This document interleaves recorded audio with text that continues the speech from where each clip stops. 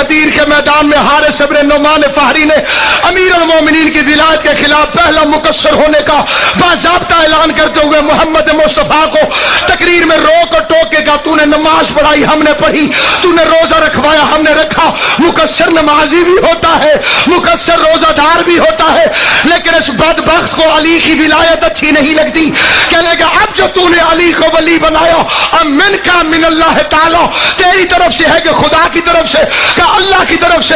اس بغیرت نے اپنے دونوں ہاتھ اٹھائے، آسمان کو دیکھ کے کہتے ہیں، یا اللہ، اگر محمد سچے ہیں، علی کو تو نے ولی بنایا ہے، تو آسمان سے مجھ پر عذاب ہے۔ بے غیرت سمجھ رہا تھا کیونکہ محمد کھڑا ہے، عذاب نہیں آئے گا۔ اب آیت بھی دوسری آ گئی، پتھر بھی آسمان سے آیا، سالا سائل بے عذاب الواقع، لل للکافرین جب کسی سائل نے وہ عذاب طلب کیا جو کافروں کے لیے ہوتا ہے، اللہ نے پتھر مار کے بتایا، میں رسالت کے منکر کو چھوڑ سکتا ہوں، علی کی ولایت کے منکر کو۔